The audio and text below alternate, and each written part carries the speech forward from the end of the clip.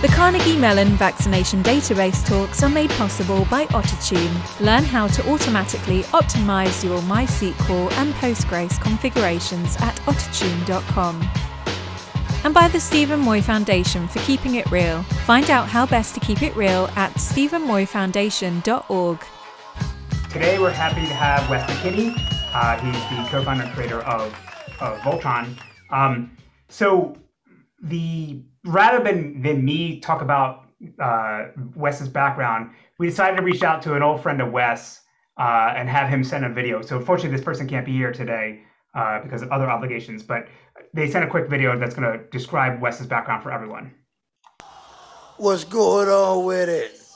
From Carnegie, co-founder Voltron Data, creator Apache, Arrow creator Python Pandas, underground at Mitt. That was N64 GoldenEye Speedrun World Record holding in the late 90s. Now that's great shit. That's great shit on Hood. I'm happy for you. Enjoy your day. Stern up and many more I come on Hood. And cheers this cold old England. Right. So uh, with that, Wes, go ahead and share your screen. And by all means, get started. And for anybody in the audience, if you have questions for Wes as, as he gives the talk, please feel free to unmute yourself and say who you are and ask your question anytime. All right, Wes, thank you for being here. Awesome. Thanks. Uh, thanks, Andy, for having me. Um, I uh, I like giving you know giving these uh, yeah update talks to this technical audience since uh, it's often led to productive uh, productive collaborations after the fact. Uh, and it is it is true that I did I did spend uh, a major portion of my youth uh, doing uh, GoldenEye 007 speed runs uh, in the late 90s. But uh, yeah, it's a long long time ago now. it does come up does come up now and then. Crit Crit Crit Mac was very impressed by that. You're, you're a good friend. Yes. Yes. Awesome. Yeah. Okay. Um, so um, we're coming right up on six years of um, uh, of Apache Arrow development. I assume that almost everyone on the call, uh, you know, already knows what this project is, but you know, I'll give a quick quick recap since many people watching the video online maybe won't already be um, won't already be Arrow experts. Um, I was at Cloudera when uh, I helped create the project. There, this was in 2015, and it was clear at that time with the there was the you know there was a confluence of different factors leading to the need to develop uh, a standardized um, in-memory data representation to tie together tie together systems. I was coming at the problem from the Python data science world, and, and I had a lot of frustration with like getting access to data so that I can uh, work with it in pandas or use it in use it in Python. And so I landed at landed at Cloudera in 2014 with the mission of like providing a Python programming API for things like Impala and Spark and other big data systems, and found myself in this like kind of uh, quagmire of like how do we even connect these systems together? Like how do we get data out? How do we run user-defined functions without paying a huge penalty? And so at that time, um, and prior to that, there was this feeling of like, oh well, Python's not a serious language, and so you know people are willing to pay a lot of overhead for the convenience of, of using python. And so if you look at compare the hadoop streaming api you know, you know programming MapReduce jobs in java versus like you could write MapReduce jobs in python but if you cared about saving compute costs like why would you ever why would you ever do that? And nobody really cared because they're like oh it's python it doesn't matter. So it costs a lot like you know it's not a real language but obviously like um, as you know, to f- paraphrase the uh, the dude, um, new stuff has come to light, and um, languages like like Python uh, have become a lot more important. And I think we'll continue to see a lot of programming language diversity, and so making creating an environment where you can connect together programming languages, data processing engines, database systems uh, without uh, with minimal overhead uh, is going to be critical to uh, having a, a, better, more efficient, uh, more efficient future. Um, we have we have uh, uh, founded a company this year called called Voltron Data, um, and you know we're building um, Arrow powered computing systems. So I'll, I'll, give a few words um, about uh, about uh, about our company and how how it came together at the um, at the end of the talk. Um, so, so we've been building this this project. It started out as a description, a specification for a memory format, uh, so an in-memory format, and then we developed a protocol for uh, serializing and transmitting that memory format across processes. Um, and you know, over the last several years, essentially, we've created this uh, expansive developer toolbox that solves uh, all all manner of problems, like first order and second order problems that arise out of building applications that use the use the arrow format. So we've taken a really component based modular approach to building integrations with file formats, uh, serialization tools, compression, memory management, um, file systems, like all, you know, any, any, problem that you would bump into when you go to act to build a real system. Um, so rather than, you know, leaving developers to cobble together like random open source, you know, different open source projects to solve problems, we, we wanted to provide a uh, batteries included development platform to build fast analytic systems. Um, the, the Arrow format was designed uh, for, uh, for processing efficiency. Uh, it wasn't designed as a storage format. Um, and uh, it was intended to address the, the language interoperability and system connectivity challenges that, that we perceived in the 2015 era. And thankfully, um, a lot of people have shown up to say that yeah we agree that this is you know a problem worth solving. And it's uh, it's really great that we've built a uh, thriving uh, developer community to build one solution one robust solution to the problem rather than have like you know a half dozen you know incompatible competing standards to to, to do the same uh, to do the same thing so kind of the way i the way one way i think about the project and, and how i describe uh, describe it to some people is that you know we're we're trying to do for for data analytics software what what LLVM did for for compiler infrastructure. Um, so rather than having a uh, completely vertically vertically integrated system, we have these modular components that solve uh, that solve different problems up up and down the stack. And so you as a system builder uh, can choose which parts of the you know which parts of the system the platform to use like which programming language like which pieces of software. Um, so if you you want to to do you know embedded query processing in rust like we've got a you know we've got a thing for that. If you need to uh, compile uh, array expressions for projections and filters like we've got a compiler that you can take and you can you know use the compiled expressions in a system that's written in java um, you know, and Dremio, you know, arranged, you know, to do that because they needed to accelerate uh, accelerate their their operators in in uh, in Dremio and in Java uh, using LLVM. Um, so you aren't beholden, you know, to to sort of take on all of the you know all of the things that exist in the project. And there are projects that are using Arrow that, that are only using the protocol standards, um, like the, uh, the the C the C interface. And so I'll talk a little bit uh, about how that works and how we're seeing uh, real world um, uh, database management systems like like DuckDB adopting the C interface so that we can have um, systems that depend on each other and connect together while sharing no code at all aside from um, simple capsule data structure. So we're, we're aiming towards this world where we can increasingly rely on being able to plug together systems and and they may not the systems may not be arrow native themselves but uh, you have the option of uh, connecting via you know via arrow whether that's like sending a single chunk of data or sending a stream a stream of data either in process for example at cffi boundary um, or inter process like through shared memory or sending data through a socket or over over uh, something like grpc um, we've been really busy um, over the the last five almost six years. So brief you know brief summary of uh, history of the project. Uh, we announced the project at the beginning of 2016 we started making releases um, at the end of 2016 it took us a while to um, to have a piece of software that we could that we could release. Um, and since then you know we've got into a quarterly roughly quarterly cadence of major releases we declared Arrow the uh, memory format and binary protocol for interprocess communication stable uh, in the middle of 2020. So that was, you know, more than four years into the process. Um, and then we also moved to a semantic versioning system uh, for the for the libraries. So now the protocol itself has a separate versioning scheme. So we're still on um, the 1.0 uh, protocol version.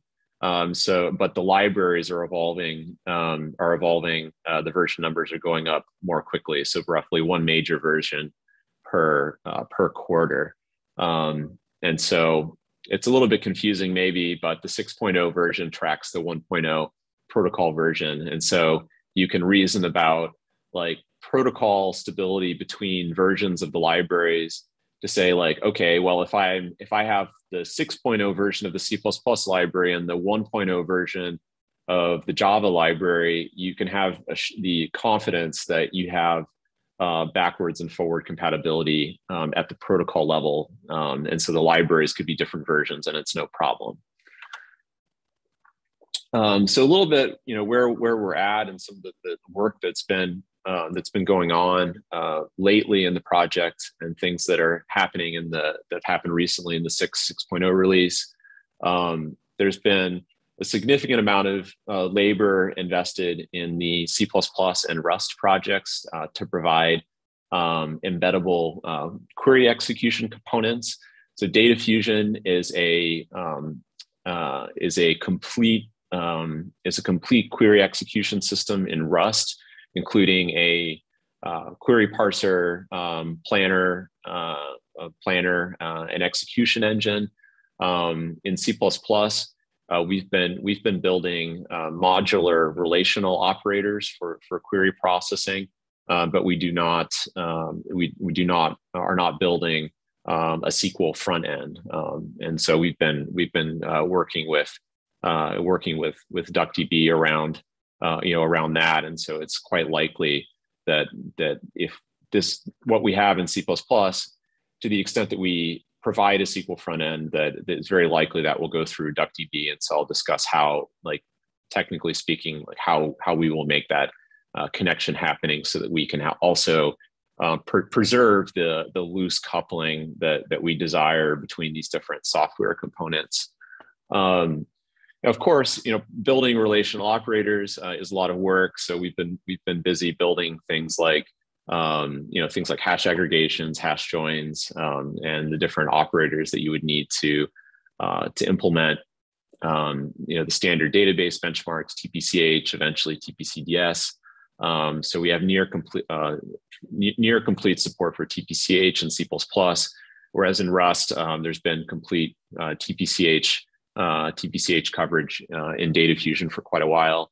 Um, we don't uh, the the Arrow community is not is not a mono, monoculture. There's not a central governing body that's deciding what is the roadmap for the project. So in a sense, the Rust developers uh, are are acting you know are acting on their own, building um, systems that are top to bottom uh, Rust you know Rust native. And so, for example, uh, folks from from Influx Data working on the next generation execution engine for InfluxDB have been contributing contributing heavily to um, to to Data Fusion because Data Fusion forms the core of um, their next generation IOX uh, uh, query engine. So they're moving from Go uh, from Go to Rust. Um, but uh, from like a development standpoint, there isn't a great deal of like day-to-day collaboration uh, between the C++ developers. It includes a lot of people on, on my team and the Rust developers, although we do work on things like integration testing so that we make sure that systems that are built in either of these languages can connect to each other and we and we've you know we've verified that uh, we've verified that that the protocols are compatible.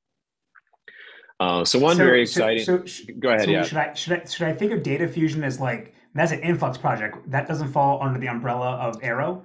no, Arrow is, Data Fusion's uh, yeah, Data Fusion's part of part of Apache Arrow. Um, it was started by um, by Andy Grove, um, who is now at a, he's now at NVIDIA. Um, it's not part of his day job, but he um, he was at a working at a different company. Um, he donated Data Fusion to the Arrow project, and then organically Influx uh, InfluxDB decided that they were going to build their next generation query engine in Rust, moving from Go. Um, and then rather than build something from scratch, they said, you know, we want it to be based on Arrow. We want to take advantage of like all of the good things that Arrow gives us. Um, and this query engine's a good starting point. So they decided to um, collaborate and build together rather than building like something full stack that's in InfluxDB only. So probably they made they maybe made their development process more more complex by like introducing a like dependency between Rust crates, um, but at the same time, um, there's like developers from all these other companies working on data fusion. So, uh, you know, I guess you have to you know believe that in some cases open source can can make you more productive. But like, so does this mean there's like a there's an execution kernel that written in C++, and at the same time there's a whole another one being written in Rust that basically uh, repeats the same features. Is that how should I think yeah. about this? Okay. Yeah, yeah. I mean, in every in everything's modular, and so you know, I think if it would be an awesome outcome if if data fusion um, becomes like the main um, analytics tool, the thing that powers um, analytics in Rust. And I, I see every reason like why it, you know, why it will be like a that when people are doing analytics, like data frame pro- type processing, right, or SQL processing um, in any kind of Rust application that needs to do embedded query processing, um, and they want the memory safety and other like you know rust developers really want everything to be written in rust um, it's kind of like julia in, the, in a sense so if uh, if if analytics in Rust uh, becomes you know effectively Arrow native from day one, um, that's not a bad that's that's not a bad thing. Um, yeah, one so so one one cool thing uh, that that we've been working uh, working closely with the with the DuckDB folks on is um, is is building um, near uh, it says zero copy here. I would describe it as very nearly zero, very nearly zero copy. I know the DuckDB folks are on the line, so um, I, I mean, maybe maybe something you know. Anyway, it's neither here nor there. But um, one of the cool things that you know that we've achieved is um, is being able to run DuckDB atop um, either memory resident data sets or uh, dynamically generated like uh, streaming data sets. And so on, so on the Arrow side, we've built like all of these different like ways to get access to data. Um, whether it, it could be like make an RPC call to some server which streams the data to you over gRPC. And so you could attach that stream of data that you're getting over gRPC to, to DuckDB and run SQL on it. Um, so we have all these different places where data can come from, and we can compose with um, you know, high performance query engine like DuckDB uh, with effectively zero, effectively zero overhead. Um, so we've exposed uh, these capabilities in in R and allowing the um, the using the dplyr API. So you can have a data set that originates uh, from the Arrow library. So for example, um, you know you could have a data set that lives in S3 or you know in Parquet files or DuckDB also knows how to read Parquet files, but um, if there was some data that that Arrow knew, knew how to read but DuckDB didn't, you could grab a a, a, uh, kind of def, a um, streaming handle to that data and then pipe that into DuckDB and write your write your query, which could be in SQL or it could be using this dplyr API, um, and let uh, and let let DuckDB um, do its thing. Uh, similar API is possible um, in in Python, and we connect these um, connect these libraries together without sharing any code. And so I'll explain in, in, the slides how that how that connection takes place so that you can enable this um, you know zero copy data level composability without any code sharing. So very cool stuff. Um, so so very very quick words about the uh, you know about the arrow columnar format. It's principally uh, designed for for runtime use. So you can put it on disk, but it isn't designed to be um, a storage format. Um, that being said, I I uh, I will express the perhaps controversial view that it's time to um, it's time to design a better file format than than Parquet. So one that is um, faster, a lot faster to decode, and perhaps is designed with like more affinity uh, with Arrow in mind. Um, so having, I know a lot of people on this call, including myself, have uh, um, suffered a lot of blood, sweat, and tears dealing with, um, you know, uh, with with with the Parquet format. Um, but something that we should we should think about. In the meantime, you know, Arrow is intended to be used as a companion technology to um, to columnar storage formats like Parquet and ORC. Um, so has support for flathead nested schemas. Uh, data is arranged in a in the form in a format um, to facilitate uh, SIMD processing. Um, and one one feature that was important to a lot of us when we started the project was making sure that we can um, accommodate both um, scan and, and random access workloads. So rather than, you know, there are certainly data structures out there that are primarily um, used in a, in a scan con, you know, scan based context, but, um, you know, we, so if you need to access a cell in the middle of a large arrow data structure, you can do that, um, you know, in with a constant time guarantee. I see Dominic has his hand up.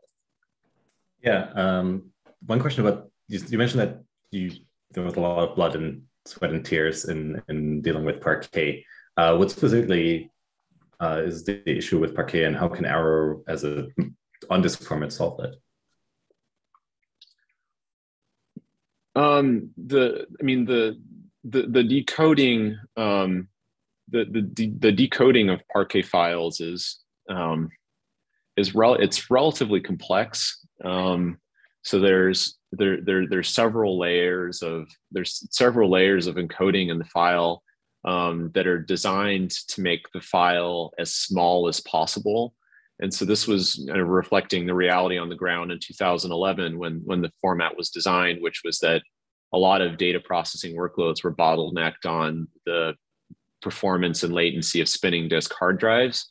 And so going through um, you know dictionary compression and then um, run length encoding of uh, you know null and non-null data and then additional general purpose compression on top of data pages um, you know combined with like you know like thrift and like kind of messy you know um, you know the metadata is like is is rather complex um, so it, it's overall like there there have been it, it's a little bit of a um, it's a little bit of a Frankenstein uh, file format, and yeah, it's the you know it's effectively the best we've got. That's in terms of widely adopted technology.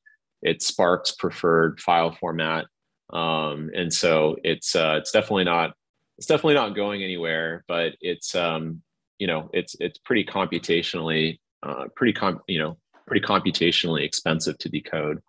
So I don't know like I know I see Hannes is on the line. I know that like Hannes has suffered greatly. So if you have any like thoughts or comments about that.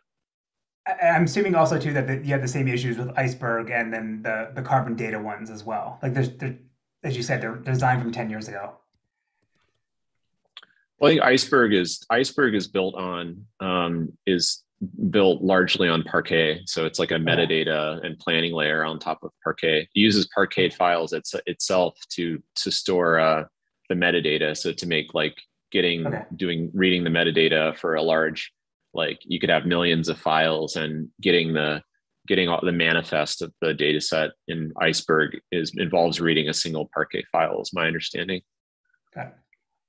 I think the current ones are format question for you all right so so wait, we'll go to hamid in a second actually adam do you want to say your comment quickly sorry, I was going to say the the modern icebergs, the latest ones are um, file format agnostic now. Okay. All right, Hamid, question. Okay, so what is your prediction over here regarding some loss of compression?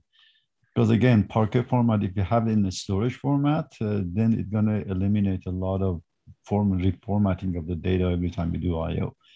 So we are willing to compromise on the compression a bit uh, to get that. So what is your prediction? It's going to be 10% worse in compression or it's going to be like 100% or 3x? I'm not I'm not sure to to to be honest. Um, yeah, I mean, but you know, considering that that overall uh, bandwidth to you know bandwidth to storage, you know, will continue to be you know continue to get faster and faster. Um, and I think that we will see more and more um, storage coprocessor support. Like if any of you've seen the, the work that um, is going on at um, uh, Carlos Maltzahn's group, uh, working on on Ceph and uh, pushing down um, Arrow processing into into Ceph. Um, so I think we're going to see kind of a um, you know it's almost like two steps. Uh, you know, one step uh, I don't know what the right metaphor is, but uh, you know, we worked really hard to like completely decouple processing from storage. But um, you know, I, I think that uh, uh, you know the the future will be some you know some hybrid of the two. So doing some amount of lightweight processing in the storage layer, and you know, if you have 400 gigabit or 100 gigabit networking, um, you know, actually moving the data to the node that needs to process it is uh, you know, rel- is not yeah the, the the you know rather than being IO bound like it was in the past, it would be more compute bound. Yeah, so but the point over here is that in a modern system, more and more we are really working on the data which is cached in the cluster. Then mm-hmm. you can easily right. get 100 gigabit, they're all going to 400 gigabit. So the IO bottleneck is gone. Right. And then you have to spend all this CPU time converting the format from one to the other. Right. But compression is important because we're using expensive NVMEs and Optane, right. all that stuff. Right. So compression is important. Right. Right. Agreed. Agreed. Yeah. So, um, so I, I, I would hope that, um, and, and this is, you know, something that, that as an open source community, we should work on together to develop, um, you know, the, a, a compression scheme that is, that delivers um, good compression ratios on on arrow data uh, that can be de- decompressed a lot uh, a lot more quickly than um, you know a lot more quickly than Parquet. And I don't know whether it's like the compression ratio might be, you know, if if if on average the files are twice as big as Parquet files, like perhaps that is a, that's an, an acceptable trade off. Like I, um, you know, I'm I'm I don't know that I'm the right judge of like what's an acceptable trade-off but i would be interested to know like what what is what what is an acceptable trade-off? And it, every system may have um yeah, yeah may, may, see things differently. So anyway um something would love to talk more about this offline. So um feel free to yeah. This is something that we might be looking into. Let's let's take this offline. Yep yep. Um all right so go through this quickly. Um skip talking about arrow metadata. So we have data types. Uh, metadata brings semantic meaning to the physical memory layouts. Um, uh, we have a number of built-in, uh, you know, built-in memory layouts which have been relatively unchanged since the since the beginning of the project. Um, I think one interesting area um, I'm about to start a discussion um, on the Arrow mailing list is incorporating um, new or augmented columnar layouts, uh, taking uh, into consideration um, you know innovations that have, have occurred in um, other uh, columnar processing systems. So, for example, um, DuckDB, Velox, uh, and UmbraDB um, all use a common um, string view data type with inline uh, small strings. Um, which has you know numerous benefits. so I think that's something we should look at adding to to Arrow more formally, um, as well as adding, uh, you know, run length encoding, constant arrays. Um, and Velox has, has some stuff uh, that enables uh, reuse of, of data in nested uh, in, in, nested types and rearranging data in a nested array without uh, doing any data copying. Um, that can be pretty, you know, pretty beneficial in some in some workloads. And so rather than having, you know, I worry about um, columnar systems specializing because they have performance needs and we end up with like you know more fragmentation at the data level than than would be desirable so so some things to um, if you're interested be happy to have your feedback um, so uh, so i don't run out of time. Um, so arrow has a, a, binary protocol for interprocess communication. It is streaming in nature. So the schema is negotiated up front um, along with uh, dictionaries. We allow dictionaries to be replaced or appended to uh, midstream. So you could, so if you have a dictionary that's evolving, you could send a delta um, after you've already sent a number of um, column batches uh, of data. And so on the receiver side, when a receiver uh, receives a payload of arrow data, they they uh, can construct data structures that that just have memory addresses to the to the blob and binary blobs, and so that enables us to do um, uh, the you know much the you know the heralded uh, you know zero copy property. Um,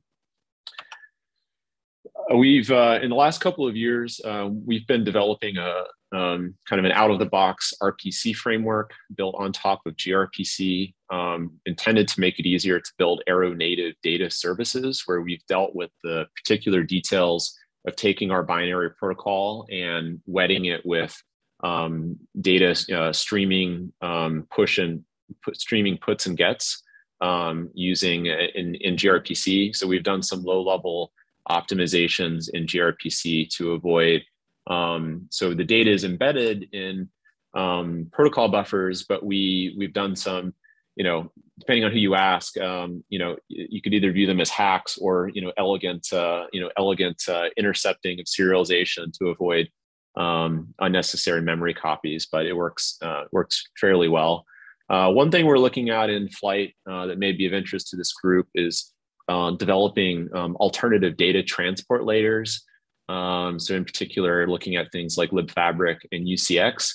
Um, so flight performs really well on 10 and 10 and 40 gigabit Ethernet. Um, but if you were, um, you know, if you have 100 gigabit or 400 gigabit, um, you know, TCP is not you're not, not going to be your best your best friend there.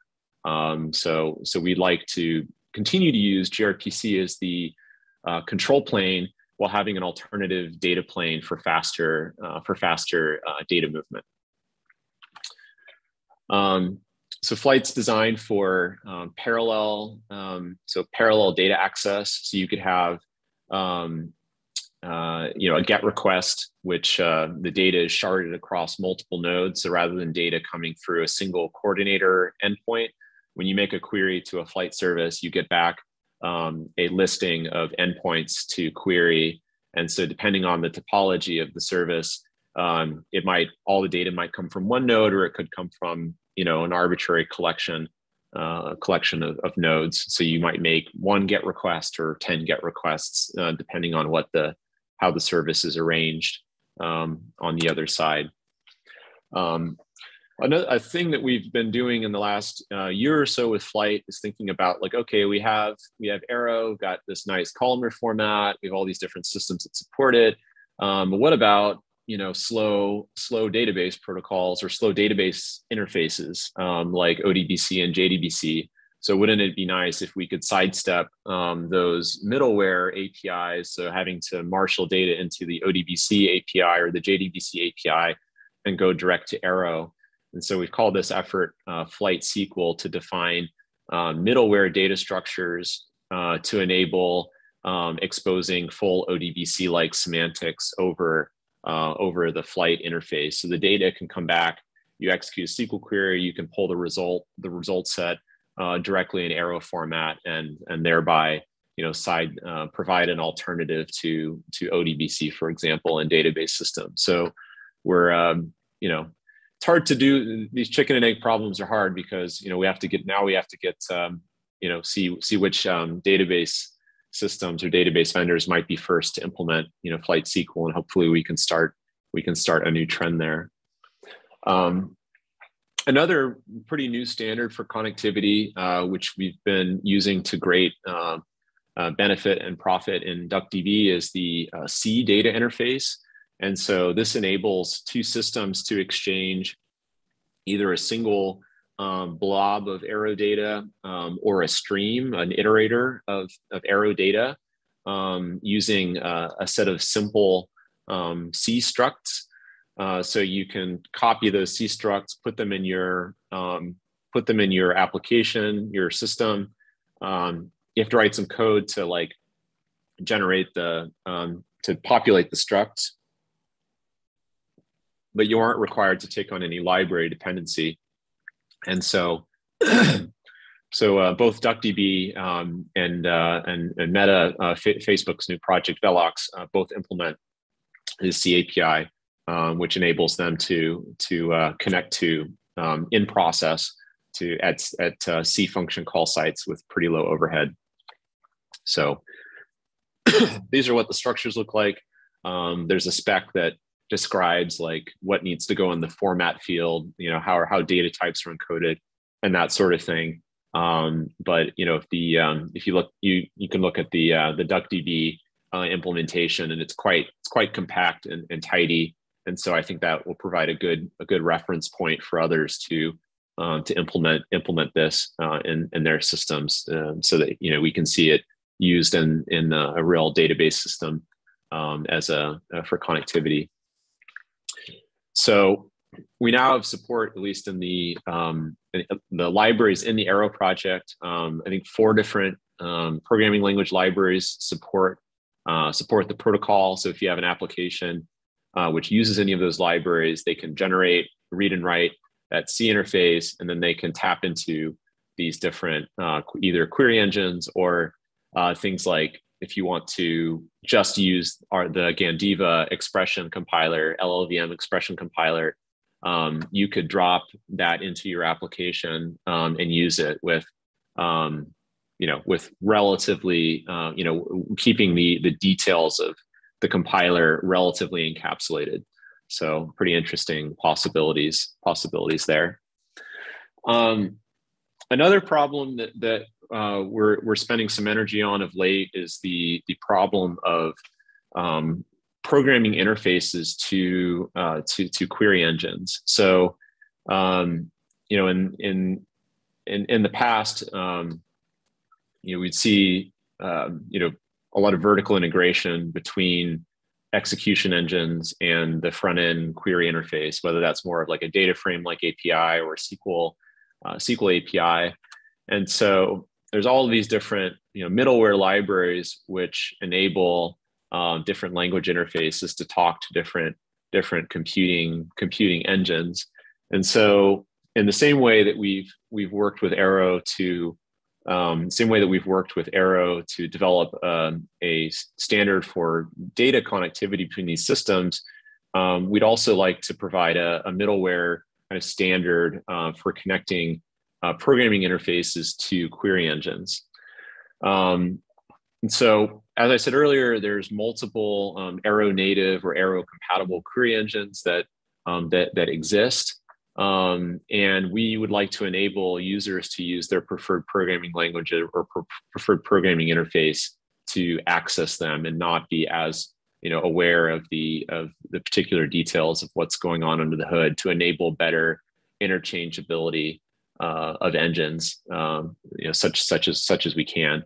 So certain details like um, you know data like data loading and DDL type type things, um, we may not be able to make completely go away, but at least the um, query part of specifying an operation to run, whether it's in SQL or something else. Um, if we could have some measure of standardization and interchangeability, that would be really nice. Um, so there's a kind of a parallel effort, not within Apache Arrow, but it's a separate open source initiative called Substrait um, that you know we've been working with, and uh, you know the DuckDB folks have been uh, have been collaborating as well and working on an implementation. Um, so Jacques Nadeau, who I helped start, uh, was part one of the creators of uh, Arrow. Where I've worked closely with him for years, um, so he's been been working on and driving this. And so the idea is to have a um, portable language agnostic uh, logical query plan. So you could generate it by um, parsing a you know parsing a SQL query. So there's a um, calcite to Substrait uh, converter, uh, I believe that Jacques has been working on. So that's one way to generate Substrait, which is a set of protocol buffers. Um, but we're also working on building uh, integrations with um, like data frame APIs in languages like Python and R uh, so that we enable alternative non-SQL based uh, interfaces. And so if a system knows how to accept Substrait and execute Substrait queries, um, we sort of get the you know the whole problem of like what SQL dialect do we do we do and, do we have to carry around a SQL parser and analyzer uh, to be able to do anything? So um, Substrait is another thing to implement, but it's lower level um, than, than SQL and is at the the level of logical level of logical query plans. So we're going for this world of um, different APIs going through Substrait to talk to different different backends. Um, all right, I know I'm running uh, running low on time, so uh, and I know we want to have a little time for questions, but um, um, so there's a lot of work happening on query processing for for Arrow. Um, so there's an expanding network, and I, think this slide is not comprehensive, but there's um, an, ex, an expanding network of query engines that um, can speak Arrow in some capacity. So whether systems that are built um, as Arrow native, you know, from the ground up, which includes um, projects like like Dremio and Data Fusion. Um, there's projects that um, support Arrow at um, at little to no overhead um, through the C interface. So that includes uh, DuckDB and Velox. And then there's other database systems, which now I need to add, figure out all the names that need to go into this box that, that support either um, importing Arrow or exporting Arrow in some capacity.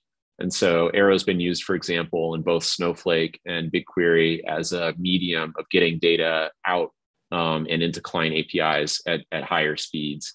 Um, because then on the client side, you only have one thing to convert to wherever it, uh, wherever else you need the data, whether it's something Arrow native or if you need the data in Pandas or something, there's already like a pre-built Arrow to Pandas converter. Um, we have been doing work in um, in C++ to build uh, to, to build um, modular reusable relational operators. So you can see this work uh, ongoing in the Arrow code base. Um, so it's uh, um, so so these are things like uh, like aggregation, joins, sorts, projection, filter. You know the building blocks of uh, you know, building blocks relational query engine.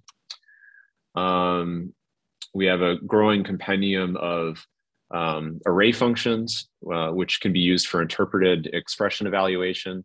Um, and the intent with all this is to provide a uh, batteries included uh, toolbox for building uh, for building data processing engines. So not only do we have kind of the lower level of the stack, like the scanning, like the data with the data set interfaces, like how to read Parquet files, how to address large directories of Parquet files in S3 and deal with like um, schema, um, schema normalization, that sort of thing.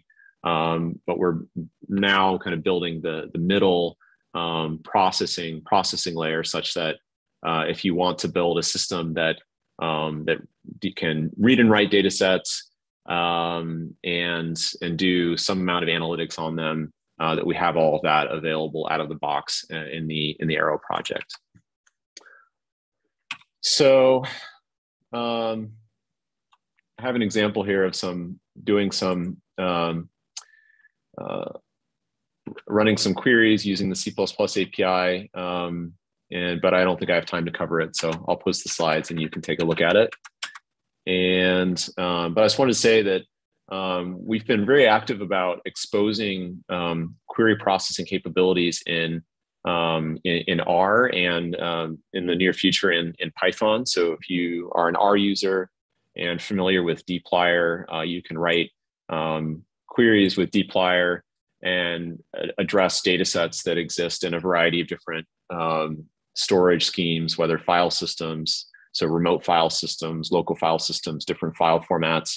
Uh, so you can compose a data set um, uh, as one step of the process and then query it uh, using the standard uh, dplyr API. Or you could, if you could, if you insert the to DuckDB function after one of these pipes, then it will delegate the query execution to DuckDB um, using using a single command. So that's very nice.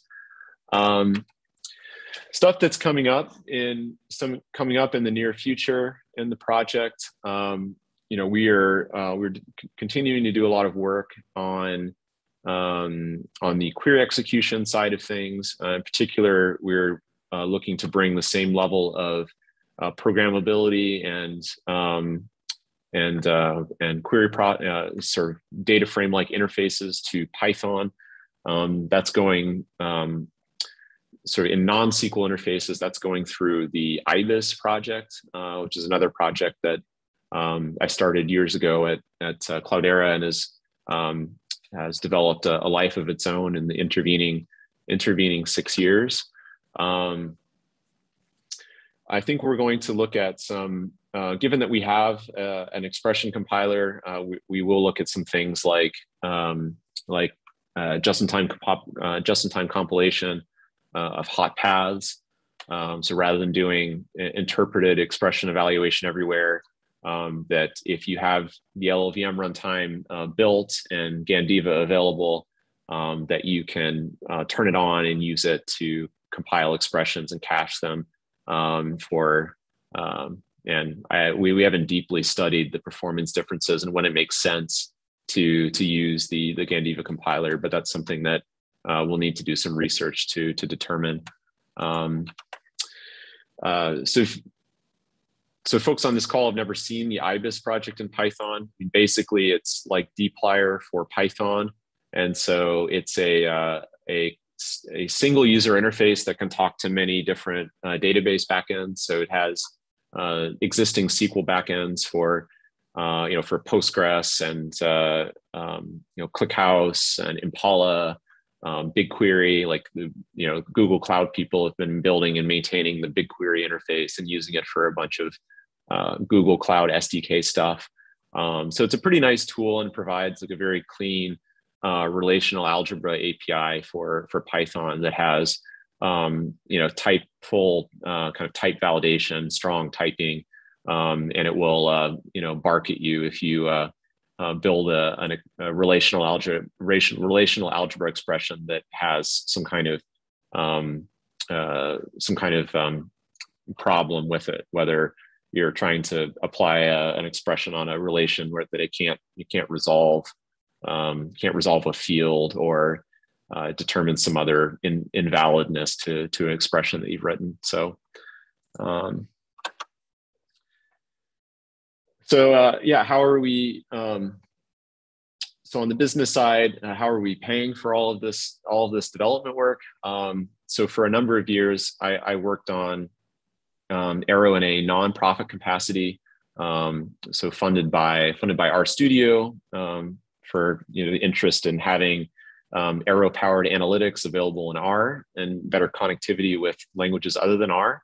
Um, supported uh, as well by by Two Sigma um, and, um, and and a lot of other a number of other sponsors. So, so that was uh, uh, was great. Um, we spun out of RStudio to form Ursa Computing in 2020 uh, and raised some uh, some money from from venture capitalists. And earlier this year, we we found a, an opportunity to join forces with uh, pioneers from the um, from the uh, GPU analytics uh, ecosystem. Um, so so Blazing SQL and uh, and leadership from the Rapids uh, organization at NVIDIA, um, who had built uh, Arrow native computing for for CUDA. Um, and so we are working to to build a unified computing foundation um, that is hardware optimized, arrow native, um, and uh, and works uh, um, works well across um, across user programming languages. Um, the mission of the, the open source uh, community uh, driven mission of Ursa Labs will continue on. So Ursa Labs is now Voltron Labs, and we you know, are maintaining maintaining a dedicated uh, open source team whose mission uh, is is to continue to grow and support uh, the development of the um, the uh, Apache Arrow ecosystem, kind of as we think of it now, like the the Arrow cinematic universe, um, as the, the, the the project and its ecosystem continues to grow. So, uh, um, well, thanks for listening. Hopefully, there was some some interesting things here. I, I imagine there's some things that would be good for us to to dig into offline. So, if um, there's anything that's uh, thought provoking, um, be happy. Feel free to reach out to me. Um, on uh, you can send me a DM on Twitter. Um, I'm sure you can.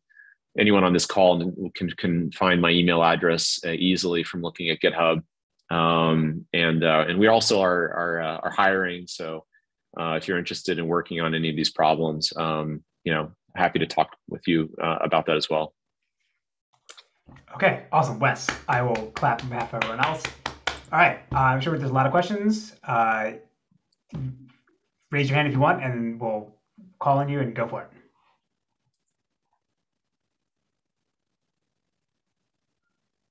Or unmute, unmute yourself, just fire away.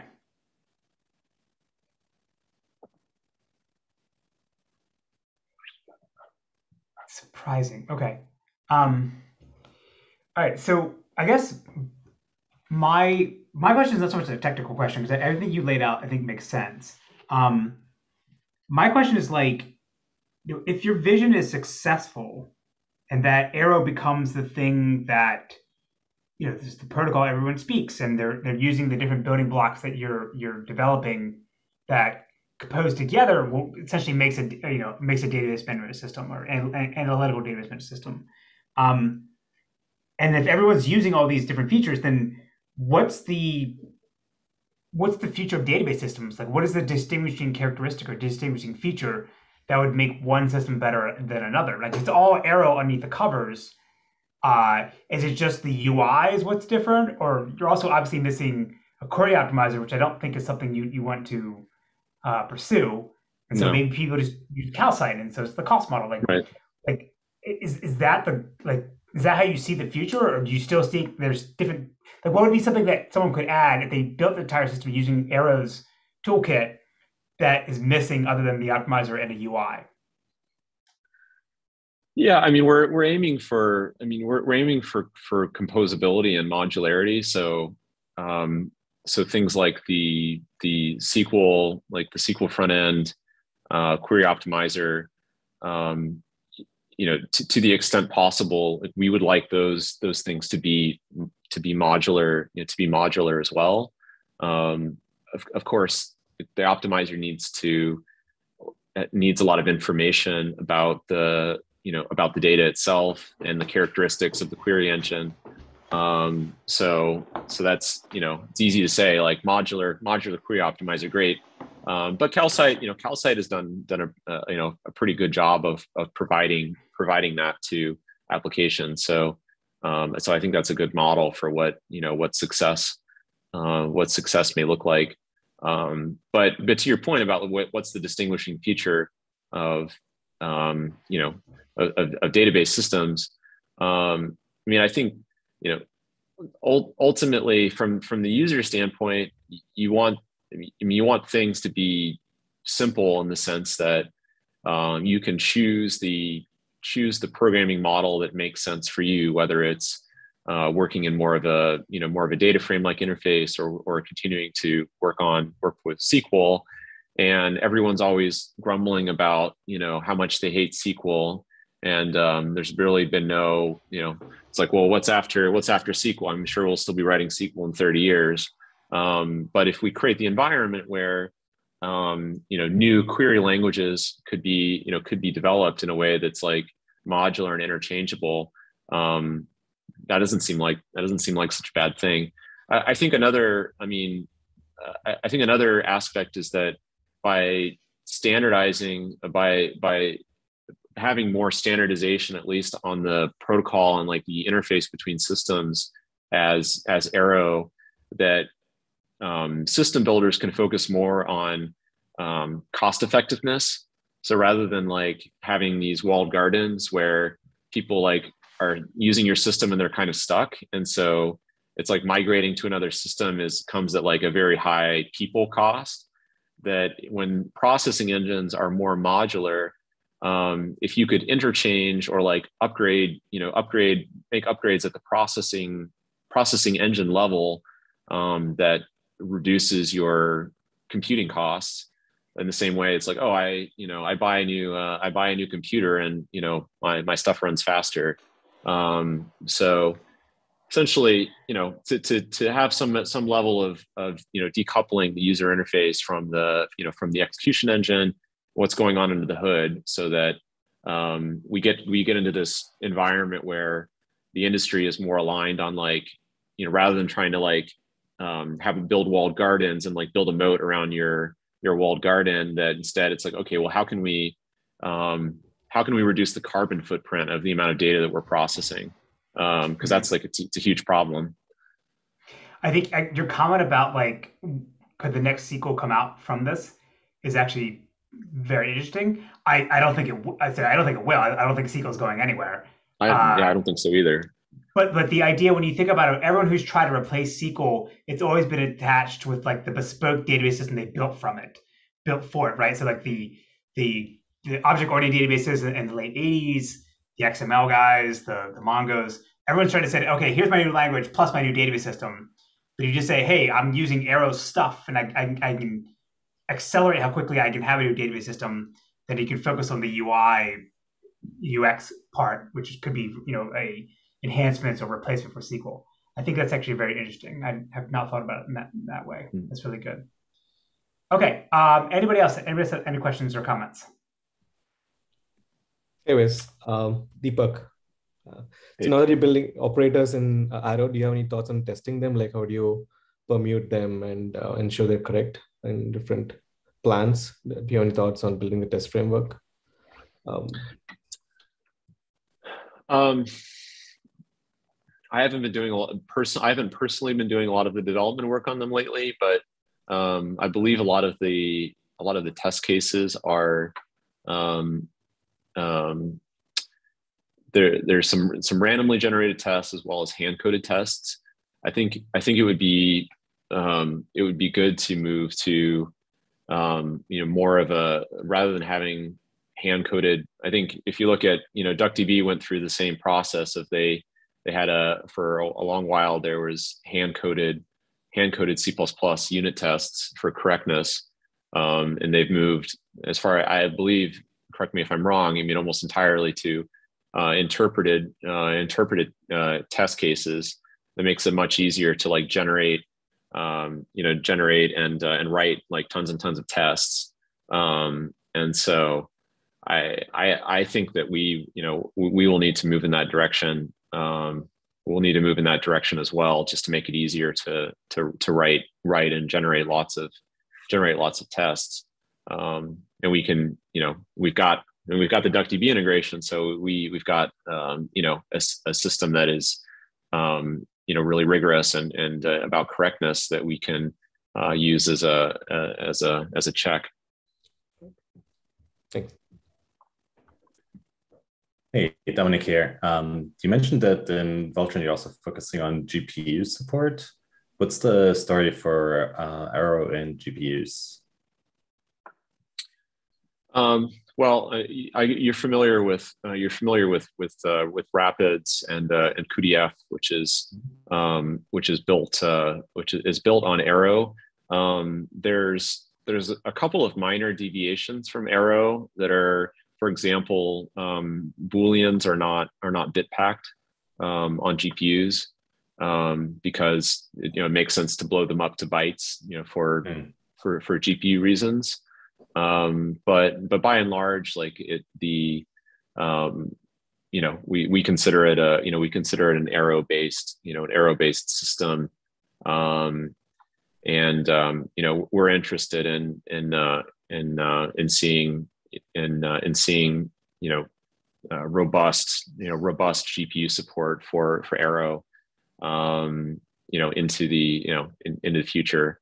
Um, so kind of the you know the form factor um, you know the, the form factor for delivering that the programming API kind of the you know the, kind of packaging and configuration of libraries and tools like if you use um, you know if you use um, uh, cuDF, like cuDF, cuDF has its own uh, Python, you know, Python library and uh, set of set of pandas like set of pandas like APIs. And so I think we would be interested in bringing, uh, you know, bringing that under a, a, common programming interface.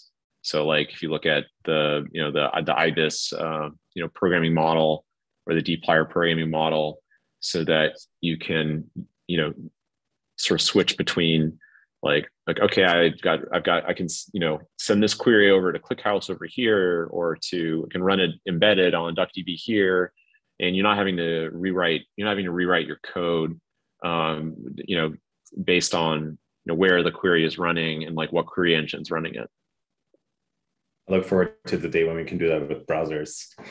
Uh, we can yeah. memory map with browsers.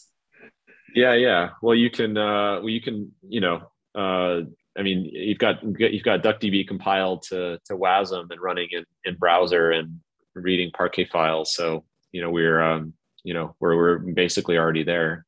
Um, mm. I, th- I, think there's like uh, you know kind of some ecosystem. Um, you know, the ecosystem has to become more mature, and things have to become like you know just more uh, you know of just uh, people it's just something we can you can rely on in, in the browser um, not and uh, have available ubiquitously. But you know wouldn't it be cool if um, you know chrome shipped with a uh, chrome shipped with a query engine built in and um, yeah say oh there's a csv file here. Okay like i'm gonna let me run some sql on that and you don't have to think about it. I think that would be nice. Hmm.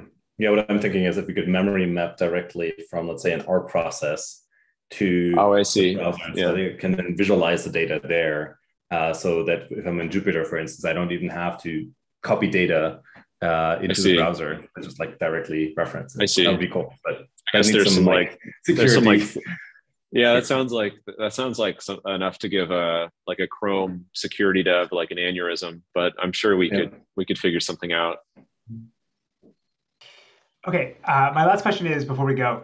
It, it, quickly, is there anything that you found that people, how people have used Arrow in a way that you found to be surprising or unexpected?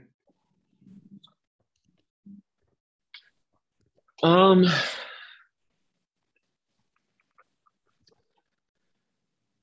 or no, because this database people and everyone is really safe at this point.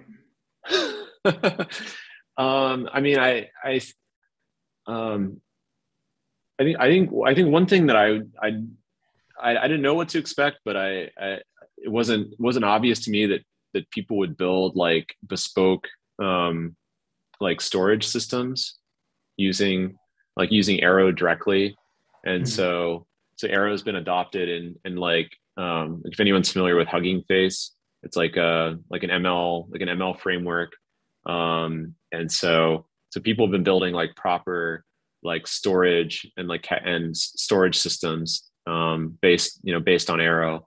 And so so there's no reason like there's no reason not you know no reason not to do that. Um, mm-hmm. but uh, yeah we you know certainly it's it's not like um, it's it's somewhat off off label use. Like we aren't encouraging people to start archiving data in, in arrow format and then storing it in in s3 buckets.